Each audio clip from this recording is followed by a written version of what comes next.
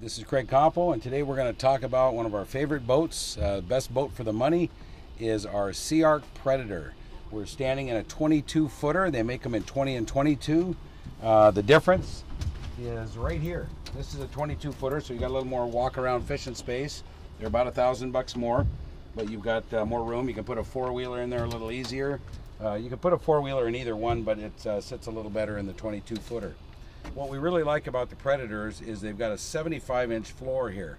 And so if you've got kids or you're fishing Chitina, you can walk around in this boat and it's extremely stable. You can put three or four people on one side of the boat and because it's so beamy, it's not going to be tippy feeling. It's not going to, you're not going to feel like you're going over the edge. So it's real safe. All our Predators come with a diamond tread floor and lots of storage. Uh, so it's a really solid boat. Uh, your gas tank on the Predators is mounted bow in the bow. Um, a 25 gallon tank right under here, easy to fill. Um, a lot of storage space. You've got storage here, storage in the bow. Uh, they come with the cleats. Uh, this particular boat has the Rhino liner interior called Line-X. Uh, it's a really high quality product. You can see it's just very, it's on real thick and it's got real good grittiness um, on the big gunnels. All our 72 inch boats on SeaArk have the, the big gunnel.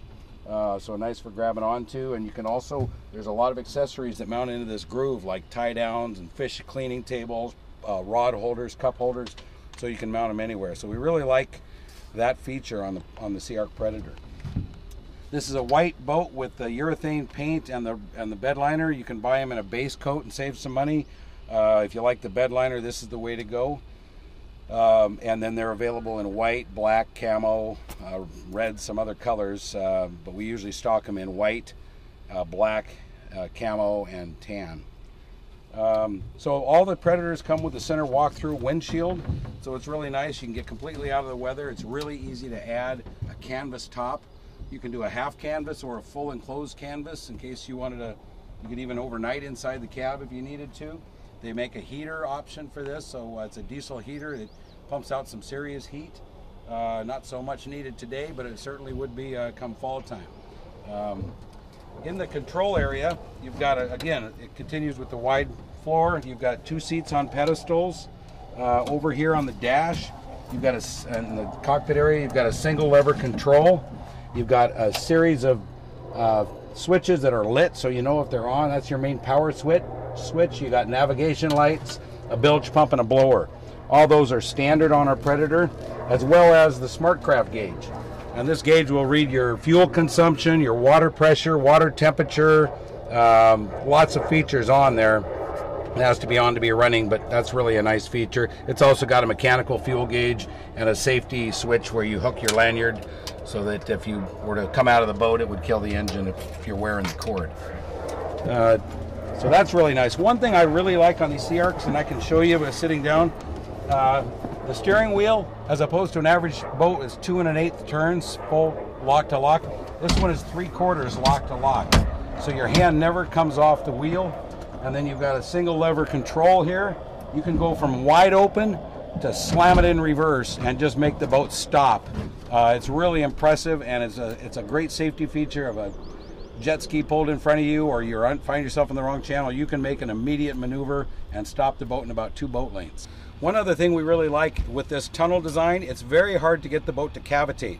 Cavitation is when you're ingesting air into the pump and you lose thrust, lose control.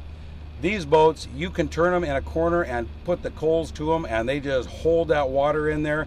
You can you can turn these boats in a tight circle not that you'd normally want to do that for operational use, but it, I can do it to show you so that so that you see how hard it is to get them to cavitate. Uh, you can turn hard enough where you'll get dizzy after a while. It's like a ride at the fair, and stuff. Kids like it, but uh, but it's really impressive, uh, showing you the fact that uh, the boat really holds the water nice in the pump. That's due to the pump design and the hull design. It's about a six degree dead rise. Um, it's also really good for trolling for silvers down in Valdez.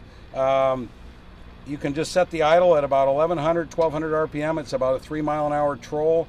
Perfect speeds. You troll all day with these things. You don't necessarily need a kicker motor uh, to troll, which is kind of a pain anyway. You got to go back there with a kicker motor. So you just set the controls and uh, start setting your drag when those silvers bite. Behind the driver, you've got again more storage areas. in here, lots of storage. We love that about the SeaArk.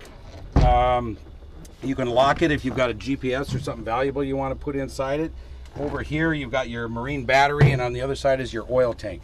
These are a two-stroke, 200 horse direct injected motor. Uh, our favorite motor. It's got unmatched uh, power to weight. Uh, it's a 200 horse motor, V6 motor, that's making 181 horse at the pump. So nothing else is even close to that. Normally you're losing 35% or 40% with a jet. We're losing nine. So the fuel economy, the efficiency is just impossible to beat.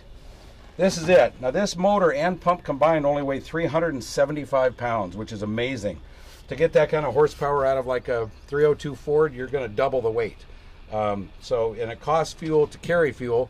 So that's why we like this motor. You don't have to carry so much fuel. You can use the space for hauling cargo, gear, moose meat, whatever you want. Uh, we normally are burning somewhere between five and a half and seven gallons an hour for most of our running.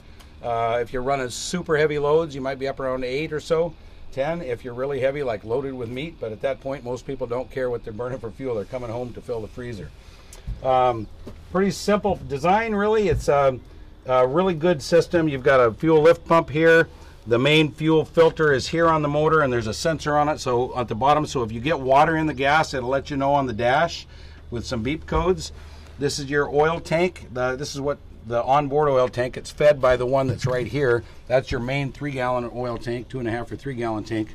So it runs you probably four to six tanks of gas before you've even got to add oil.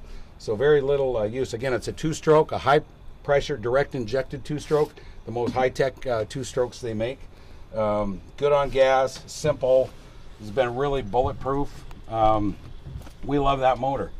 Uh, behind the motor, one of the best features they ever came out with is a stomp grate. So these are built on a tunnel hull. So the, the intake is recessed up into the hull, so it's elevated above the bottom of the boat. So if you do slide over a rocks or logs or anything, you're not ingesting stuff directly into the intake because the intake is up several inches into the into the hull. Normally you're just bouncing off the bottom or sliding over a log or something. If you do get something in your intake, you simply turn the key off, you come back, and you hit the stomp grate. It's a spring-loaded thing that it, it uh, every other bar it's a there's nine bars and every other bar opens to uh, let the rocks or sticks fall away. Important to always turn the key off before you do that. Otherwise, if you're in six or eight inches of water, it's going to pull up whatever's on the bottom of the river. Uh, you got a big swim deck here to, so you can walk around. One feature we offer is an option. We've got a helm lever that we can mount up here so you don't even have to come back it's, it's not on this boat. They, they're an option. They're about 600 bucks or so. But you grab the lever and you just pull it there to activate the stomp grate, which is a really nice feature. We came up with that about seven or eight years ago, and it's been real popular for an option. This boat is one of our very best sellers. Everybody likes it because they're versatile. You can go, you can pull a tube with it on the lake. You can go fishing at Chitina and be safe. You can go hunting and carry a ton of weight. One of the things I like the very most about the Predators is the ability to carry a massive amount of weight without using a lot of speed. They roll right up on top, part, partly because you've got your gas tank in the bow, but they roll over and they just they just lift so easy with this wide beam onto the uh, onto the top of the water, and you can maneuver real tight sloughs and, and small pieces of water, small rivers, uh, without using speed. So that allows you to stay on step and uh, and go all the way around there. So anyway, that's that's the Predator available in 20 and 22 foot boat, thousands and thousands under everybody else's uh, jet boats. So uh, come on down for a demo ride.